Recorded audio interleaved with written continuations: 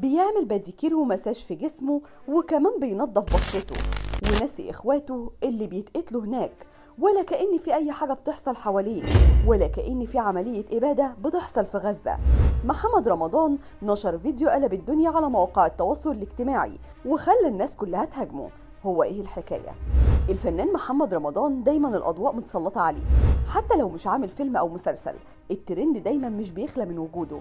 الغريب بقى إنه بالرغم من كل اللي بيحصل في غزة وعملية الإبادة الجماعية اللي بيعملها الكيان المحتل نشر فيديو ليه على حسابه الرسمي على الإنستجرام وقال فيه لا أستطيع الانقطاع عن عملي نظرا لالتزامي بعقود مع شركات عالمية ولكن لم ولن أنسى إخوتي الفلسطينيين بالدعاء حتى قبل حفلاتي خارج المنطقة العربية أنا وكل فريق عملي ومؤسستي تعمل منذ ثلاثة أيام لإرسال المعونات اللازمة لهم.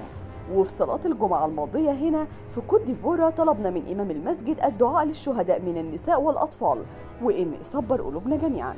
طبعا الناس ما عجبهاش الكلام اللي قاله محمد رمضان بس اللي قلب ال social media عليه إنه نشر فيديو ليه وهو بيستعد لحفلة وكان قاعد بيعمل جلسة تنظيف بشرة و pedicure ومساج خلال تواجده في إفريقيا. طبعا بعد الفيديو ده الناس كلها طلعت هجمت محمد رمضان وكل الناس بتقوله هو إحنا في إيه ولا في إيه؟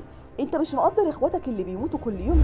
طبعا محمد رمضان معروف إن هو شخصيته مؤثرة جدا في العالم العربي وعنده عدد مهول من المتابعين في كل حتة في العالم. وعلشان كده كل الناس كانت منتظرة منه رد قوي على الأحداث اللي بتحصل في غزة لأن الناس هناك مش محتاجين أكل ولا شرب ولا علاج حتى.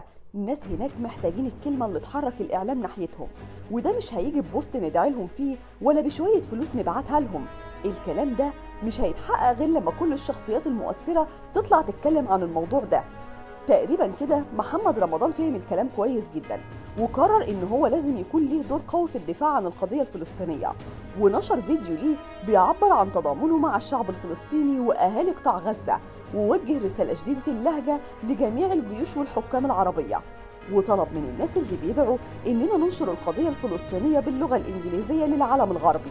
إننا نبدأ نسلط الضوء أكتر على الحكام العرب وعندنا كل الحاجات اللازمة لدخول الحرب.